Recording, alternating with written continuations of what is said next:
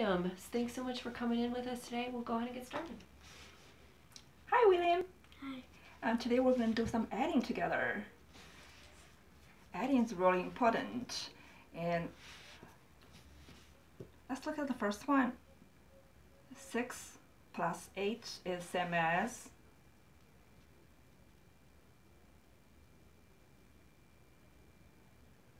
uh, 14.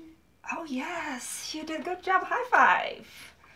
Uh, today the one we're gonna do together is called counting up. Counting up is really important. Sometimes when you see adding problems, you know the answer right away in your brain. That's wonderful. But sometimes uh, maybe we need use our fingers to help us to make it really quick. So the trick is right here. We have three steps. Trick to help us. The first step is put the great number in your fist and say it. So let's practice with the problem B here. So problem B is 4 plus 2 is same as a blank. So first step, put the great number. Great number is the bigger and larger and more, has more. So can you tell me which number is the great number. Four. So first I'm going to put the great number in our fist.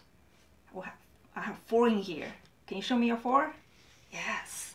And next step, count up the lesser number on your fingers.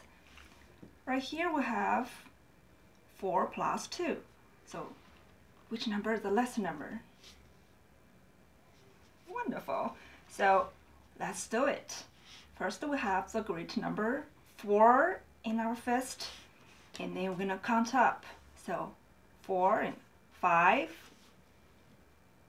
6. Yes, we just count the last number. So the last step says your answer is the last number you say. Do you remember what's the last number we say? Um, 6. Yes, that's what we just did. That's the answer for 6 plus 2 is 6. Here you go. Let's write down the answer. Mm-hmm. The last one was 14. Oh yes, now when you did it right in your brain, that's really good. Okay, let's practice this one. 7 plus 3 is same as, this time you're gonna do, we're gonna do it together. How's that? So let's look at the, we're gonna use this trick to solve the problems.